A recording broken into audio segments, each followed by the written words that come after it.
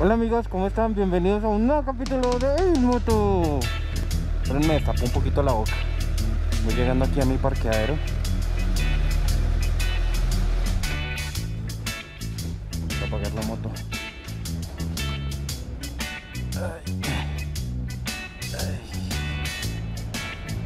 Este es mi parqueadero.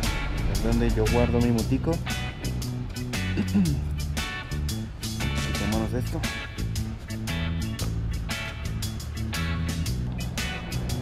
Pongámosle la alarma. Listo.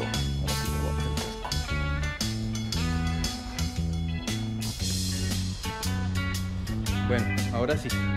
El día de hoy fue un día de locos. y quiero compartirles un poquito de lo que me sucedió. Si hay suficiente luz, no alcanzan a ver. Eh, resulta que venía yo para mi casa y me pasaron tres cacharros que les voy a mostrar a continuación. Iba yo por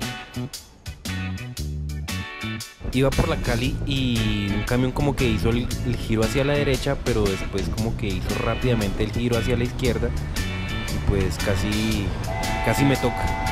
No tuvo cuidado, no miró los espejos o yo no sé, pero se me abalanzó. Si no es por mi rápida reacción, pues posiblemente me hubiera tocado un espejo o el manubrio y hubiera ido para el piso. Y eso fue el primer cacharro que me pasó. la segunda. Estaba yo detrás de una volqueta, pues no me gusta adelantar las volquetas y la tía Petunia aparece leyendo su periódico. Campante, como si nada, y pues el señor con el que iba, pues muy tranquilo, muy relajado, y ella pues leyendo su periódico muy tranquilamente, solo le faltaba el tinto y el cigarrillo.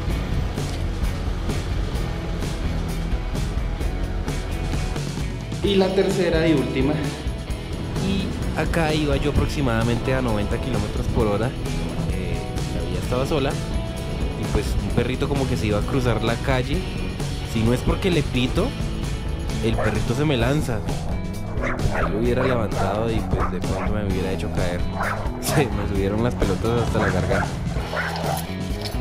Pero. Pero no pasó gran cosa. Solo un sustico y ya. Y pues aquí estoy abriendo la puerta para mi casa. Ya voy a entrar.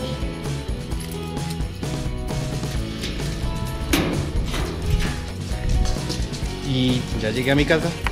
Aquí está Nati.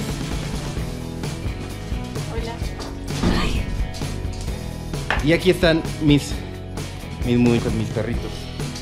Hola, Candice. Ah, ¿Qué pasó ahí? ¿Qué hicieron ahí? Ah, ¿por qué hacen males? Bueno, si les ha gustado este video no olviden darle like y suscribirse a mi canal. Hasta una próxima ocasión. Nos vemos. Adiós.